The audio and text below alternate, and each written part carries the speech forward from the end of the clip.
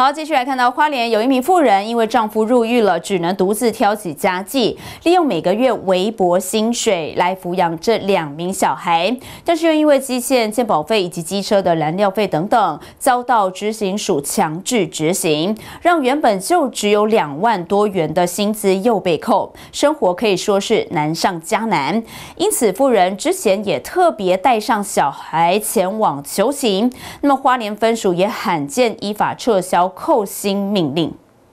三十多岁的妇人独自带着两名幼童走进执行署华联分署，因为积欠健保费和机车燃料费等等，一共两万多元，遭强制执行。但生活艰困，希望能来请求暂缓扣薪。因为小的将来一岁，那奶粉、尿布钱都还是要用的。然后在大的小朋友，就是因为要准备上小学一年级了，然后基本上在爸爸要准备入狱的时候，就是本来就已经有在积钱了。嗯，那时候的经济状况真的是资金真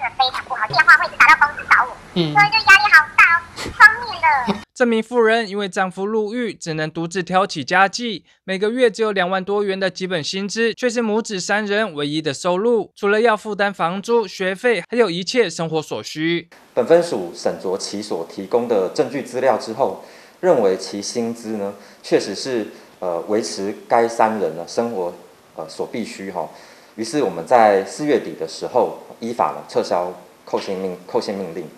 那另外同时呢，本分署呢也考量这位坚强的母亲独立抚养两位小孩的艰辛，也特地转借给财团法人张荣发慈善基金会提供协助。此外，健保署这边呢，也协助提供哈弱势平台的这个立案哈。为了帮助这名妈妈渡过难关，花莲分署网开一面，罕见依法撤销扣薪命令，并将帮她转接到慈善基金会寻求帮忙，让当事妇人也很惊讶，没想到积欠国家债务还能被帮助，实在是超暖心。